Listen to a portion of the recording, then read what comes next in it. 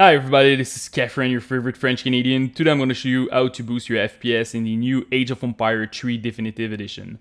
Uh, the game is running in the new engine that Microsoft developed. I'm pretty sure it's the same than Age of Empire 1 and 2, the definitive version. And uh, I said that you can struggle to run this game for now. I'm not sure if they're going to patch it to optimize it. But uh, yeah, I'm struggling it to run this game on my uh, laptop. So I will show you what kind of optimization that you can do.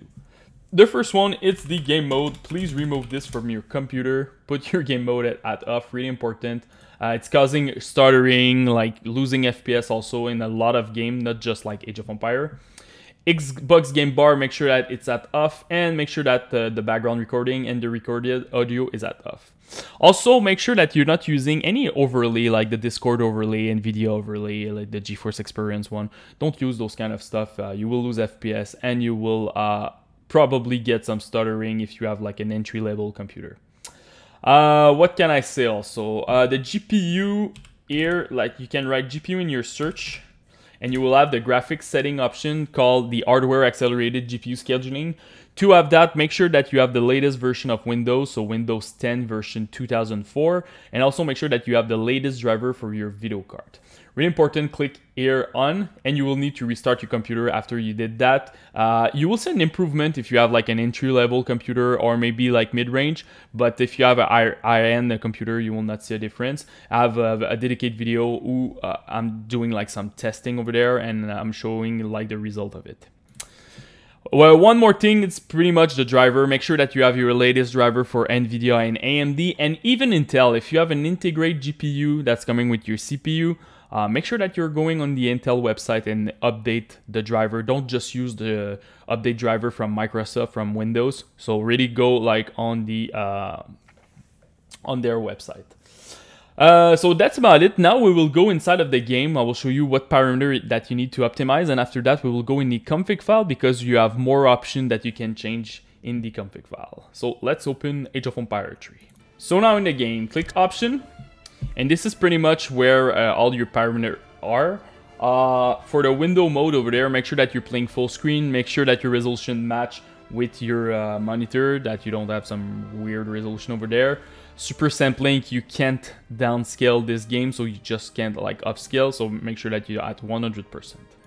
So first of all, particle quality, if you have a low-end CPU, it will help you a lot. It helped me a lot on my laptop. So go with low. If you have like a mid-range, like i5, i7, stuff like that, you can easily play at normal. You will not see a difference in your FPS. Tracer effect, dynamic light cloud, just uncheck those. You will get a 7% boost over there. Bloom effect, uncheck this also, uh, another 2%. And uh, ambient occlusion, this one, uncheck it. You will get another 3% in your FPS. After that, the first thing that you should do it's definitely the shadow. Put the, the shadow at off. You don't really need shadows in those, those type of game. And it will give you a lot of FPS. I'm getting 12% boost. So honestly, a lot of people just like remove the shadow, look at your game, and if, you, if it's fine with the, uh, the, FPS, just like remove your shadow and you, will be fine. After that, you can go to foliage. Foliage will give you a nice boost. So if, if I compare high to low, you can get 6% over there. Shader, I'm getting 2% boost um, high versus medium. Medium versus low, I didn't see any improvement, so that's why I'm at medium. Water, high versus low, you, you will get 3%. And finally, the texture, if you have 3 gig of RAM and more, go with high, 2 gig medium. Less than 2 gig, go with low. So that's about it for uh, the graphic parameter inside of the game. Now we will go in the config file. So now the config file, uh, to see where your uh, config file is, you have to go in your C drive, user, the name of your computer, games, Age of Empire 3 Definitive Edition, and common. You will have a file called graphical profile, right click on it, you can open it if you want with Notepad++, and you will have pretty much all the parameter that you already changed in your game, plus more. So the first one you, that you really need to change is the uh, environment effect over there, put false.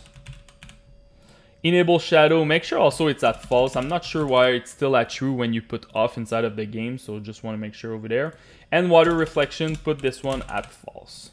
So that's pretty much it. You can change other stuff if you want, like the uh, iCliff uh, polygon, uh, cliff uh, shader also, but uh, I didn't see any improvement when I put those one at false. So just do maybe uh, some testing if you can see the difference. And also you have the iModel one that you can change over there. But honestly, just change those three. On you should like definitely run this game at 60 at this point. Uh, this is pretty much last resort if you uh, change everything in the game and you're still like lagging like crazy. Uh, definitely test this. So after that, save. Click X make sure that you block the file because probably when you will open the game, you don't have those options inside of the game. So they will probably override your uh, file. So right click on it, go to properties, make sure that you put the file in read only, click apply, click OK. And uh, you should be fine, honestly. Uh, it will lock your, your, uh, your file and the game will not override your parameter. So that's about it guys. If you have any questions, just come in in the YouTube section, post me your rig, CPU, GPU, and RAM. I will try to help you the best that I can. And don't forget to subscribe to the channel. Peace.